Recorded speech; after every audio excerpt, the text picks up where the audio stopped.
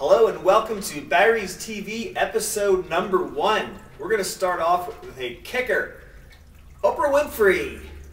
All right, everybody knows her, everybody's heard about her. The latest Oprah has been telling millions of people, I think this is about two or three days ago, how to get healthy and get fit.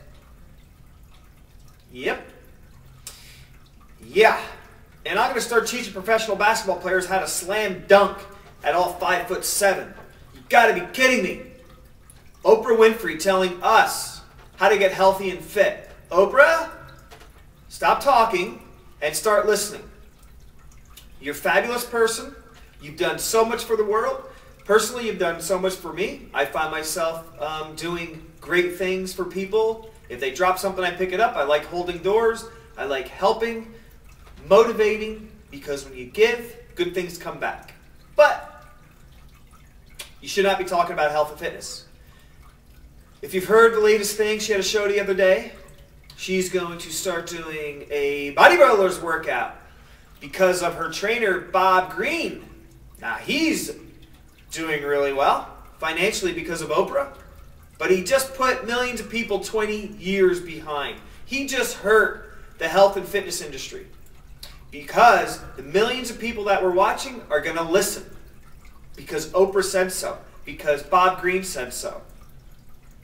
Now she's going to be at six days a week doing a bodybuilder's workout minus the cardio. Chest and tricep on one day, back, bicep, and shoulders, I believe, on another day.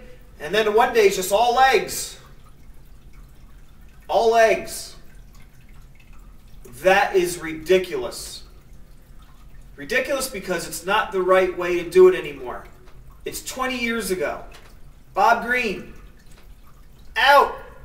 Oprah, you got to get somebody else. You got to start listening. Sit there. Don't be standing up on stage telling us what we need to do, what our cardiovascular rate should be, how we should prepare food.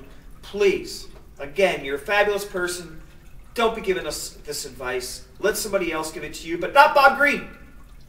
Bob Green, you need to sit there. Find out what us fitness professionals have been doing for the last few years.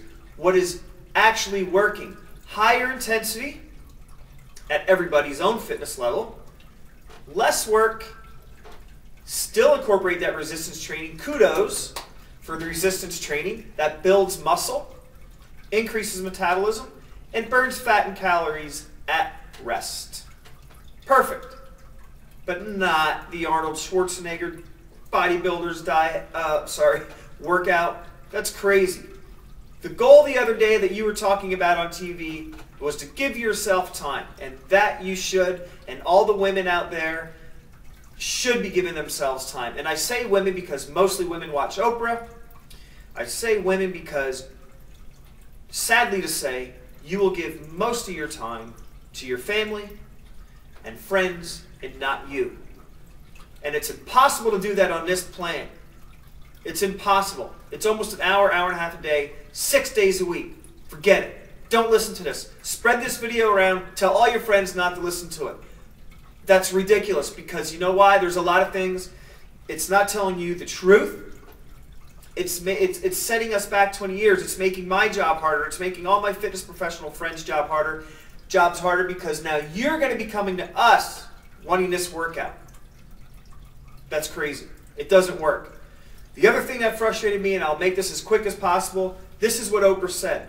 I am going to focus more on resistance training this year. Why just this year? Focus on a health and lifestyle change forever. You won't be in this predicament. Obviously, we all have the mental problems we have to get through. Oprah is well aware of that. She confesses to that. Her problem is she doesn't give herself time. Maybe it's emotional eating, which I believe. Um, but don't just do it this year. Don't make these things a fad. A lifestyle change is your life. Keep with it. You did the vegan diet for 30 days. What is 30 days going to do? You got to stick with something. Please, everybody, watch the videos below. I'm going to throw some videos on down there that people from all over the world are doing. They're free, they're on YouTube. You do them a couple days a week. Say you do them two days in a row, take one day off. Do them two more days or one more day. Take a couple days off. Enjoy it. Enjoy your health and fitness. They're higher intensity at your own level. With cardiovascular incorporated. That's the way to work out. There's four minute workout, five minute workout, 10 minute workouts out there.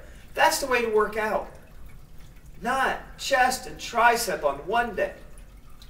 Forget about it. Please take that TV show, delete it from your computer, forget about it, forget you ever watched it, unless the only reason I want you to remember to watch that you watched it is that it's wrong. Oprah is absolutely wrong on that show. That is not the way to train. I'm sorry. I've talked to many of my friends in the last couple days, and they agree. It is ridiculous. Bob Green, come on. I think it's about time you pack it in. If you believe this. You're hurting us with that one thing. Please, don't be promoting that type of training. And you that's listening, thank you for being here. Episode one, Barry's TV. Never know what's going to happen. Rant, motivation, just talk, core exercise, health and fitness tip. Thank you. Till next time, we'll see you then.